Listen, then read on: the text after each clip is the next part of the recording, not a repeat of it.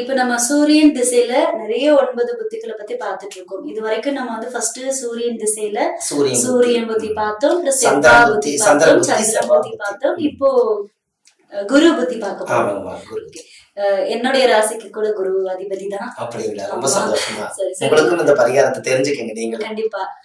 சரிங்கம்மா ஓகே தெரிஞ்சுப்போம். குரு புத்தியில சொல்லுங்க. அதாவது சூரியன் திசையில குருபத்தி நடந்தா என்ன பரிகாரம் என்ன பரிகாரம்? ஓகே ரொம்ப சந்தோஷம். இப்போ சூரியன் திசையில குருபத்தி நடந்தா குரு என்பது என்ன அப்படின்னு கேட்டீங்கன்னா ஒரு ஆச்சாரமான ஒரு அனுஷ்டானமான ஒரு பிராமணர் தான் குருவுடைய ஆதிக்கம். பிராமணர். ஒரு கோயில்ல பூஜை பண்றதுக்கு என்னதான் நீங்க வந்து கோயிலுக்குள்ள போனாலும் அவங்க பார்த்து அர்ச்சனை பண்ணி கொடுத்து சாமி கிட்ட போய் சொன்னா தான் அது வேலை செய்யும். இப்போ உங்க பேருக்கு அர்ச்சனை பண்ணணும் அப்படின்னா அதுக்கு ஒரு பிராமணர் வேணும். அப்போ என்ன அப்படின்னு கேட்டீங்கன்னா அங்க வந்து ஆலங்குடி தான் மெயினான கடவுள். குரு பகவானுக்கு வந்துங்க ஆலங்குடி தான் பெஸ்ட் கும்பகோணத்துல ஆலங்குடி குரு பகவானுடைய ஆலயம் இருக்கு. ம். வியாழக்கிழமை அன்னைக்கு பதினாறு விளக்கு குரு திசை பதினாறு வருஷம். பதினாறு விளக்கு ஏத்தி மஞ்சள் வேஷ்டி துண்டு பிராமணருக்கு தானம் செஞ்சுட்டு பூ மாலை கல்கண்டு வாங்கி சாமி கும்பிட்டு குரு பகவான பதினாறு முறை அந்த கோயிலுடைய மூலஸ்தானத்தை சுத்தி வந்தா அவங்களுக்கு அந்த ஜாதகத்துல குரு புத்தி நல்லா வேலை செய்யும். இது நான் சீக்கிரமாவே பண்ணணும். உங்களுக்கு ம், அந்த சவுண்ட் உள்ள போகும் தானே ம்.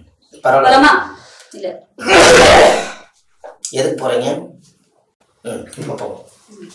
இந்த நீங்க சொல்ற இந்த பரிகாரத்தை நான் சீக்கிரமாவே போய் பண்ண நம்ம ஆலங்குடி கோவிலுக்கு ஏன்னு கேட்டீங்கன்னா ஒரு கோயில் புண்ணிய ஸ்தலத்துல சாமியை வந்து நடுமனையில வச்சு பதினாறு வது- அதாவது வந்து குருதிசு பதினாறு வருஷம்.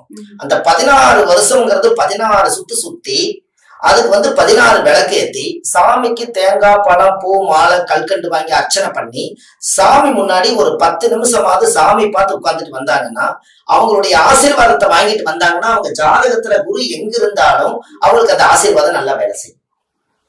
இதை இது நீங்க கண்டிப்பா செய்யலாம்.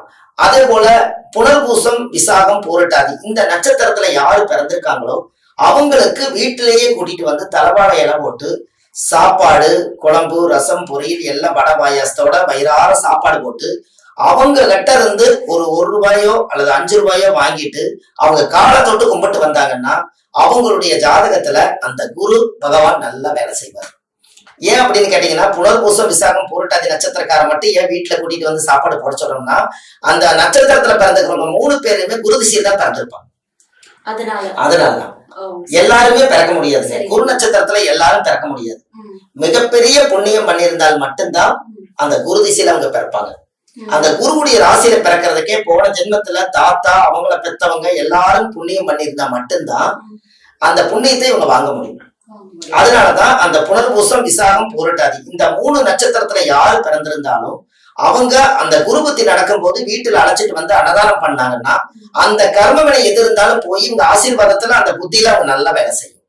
அப்ப என்ன அப்படின்னு கேட்டீங்கன்னா ஒன்பது மாசம் பதினெட்டு நாள் அந்த திசா புத்தி நடக்கும். சூரியன் திசையில குருபத்தி ஒன்பது மாசம் பதினெட்டு நாள் அது நடக்கும். அந்த ஒன்பது மாசத்துக்குள்ள இந்த விஷயத்தை அவங்க செய்தாங்க அவங்களுடைய குடும்ப வாழ்க்கை சுபிச்சமா இருக்குன்னு வச்சுக்கோங்களேன்.